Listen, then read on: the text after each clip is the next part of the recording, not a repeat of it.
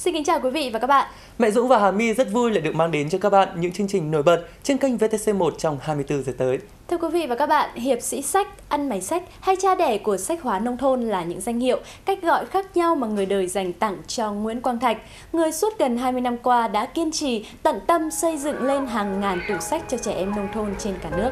Vốn sinh ra tại một làng quê nghèo ở tỉnh Hà Tĩnh, lại có nhiều năm làm việc trong ngành giao thông vận tải, được đi nhiều nơi nên Nguyễn Quang Thạch rất hiểu sự thiếu hụt và cần thiết của sách đối với đời sống văn hóa cũng như tinh thần của trẻ em nông thôn. Từ sự thấu hiểu đó, Nguyễn Quang Thạch đã nảy ra ý tưởng xây dựng những thư viện mini ngay tại mỗi thôn xóm trường học, lớp học để trẻ em nông thôn có thể dễ dàng tiếp cận với nguồn văn hóa tri thức vô tận của nhân loại. Để hiện thực hóa ý tưởng này, Nguyễn Quang Thạch đã phải từ bỏ công việc ổn định với thu nhập cao để toàn tâm toàn ý cho việc vận động, quyên góp sách. Thậm chí anh còn thực hiện chuyến đi bộ xuyên Việt để kêu gọi sự chung tay của cả cộng đồng trong việc xây dựng những tủ sách nông thôn. Trong chương trình Góc nhìn phát sóng vào lúc 9 giờ 30 phút ngày 14 tháng 11 trên kênh VTC1, mời quý vị và các bạn cùng gặp gỡ người đàn ông đặc biệt này và cùng anh chia sẻ về những nỗi buồn, những niềm vui trong hành trình mang sách đến cho 15 triệu trẻ em nông thôn. Cảm giác mắt con lại nó bị khô, chuyến đi của mình đáng lẽ phải đi sớm hơn.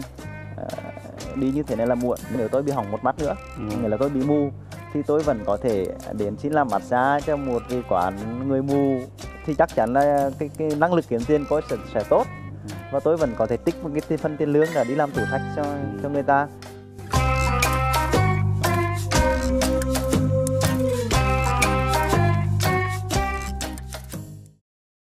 Thưa quý vị và các bạn, phụ nữ nào cũng mong muốn được khoác lên mình một bộ váy cưới thật lộng lẫy, song không phải ai cũng biết được lịch sử ra đời của loại trang phục đặc biệt này, cũng như hiểu vì sao hầu hết váy cưới lại đều có màu trắng. Những chiếc váy cưới như chúng ta vẫn thấy ngày nay được bắt nguồn từ chiếc áo cưới của nữ hoàng Anh Victoria trong thánh lễ cùng hoàng thân Albert vào năm 1840.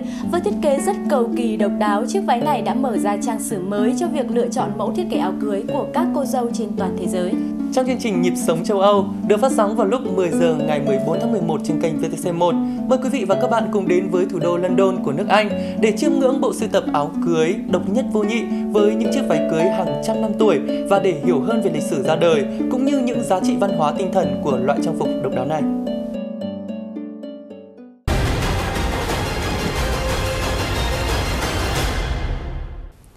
Thân mến, vậy là anh chàng Jun Jae trong bộ phim Hàn Quốc Lừa hận tình thù trên kênh VTC1 Đúng đã thế. lật mặt nạ giả dối và độc ác của người vợ. Jura của mình.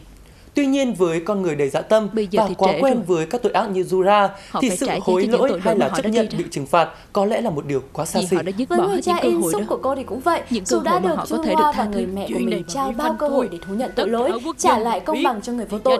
Song danh như vọng chấm chính hết. trị và cuộc sống của bản thân không thể cho phép ông ta quay lại vào bờ.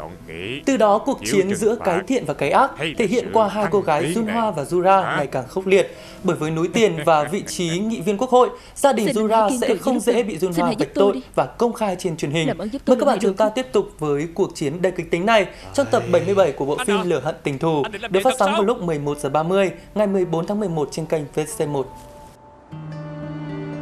Có phải con trai của anh không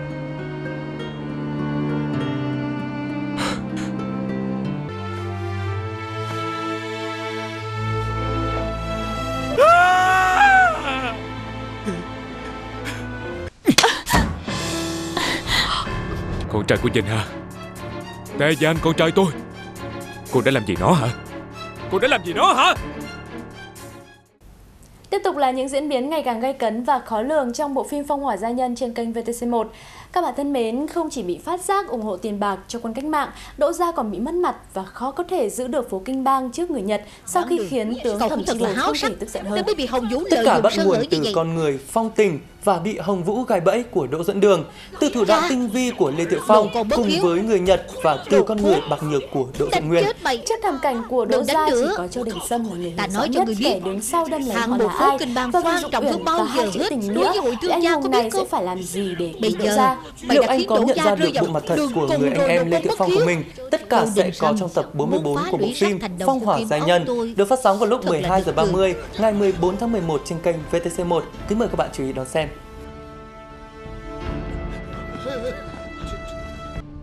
Quá ra là mày giết người diệt khẩu hả?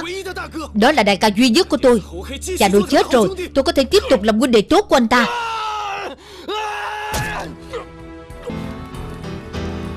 Đại ca, Anh đến muộn rồi.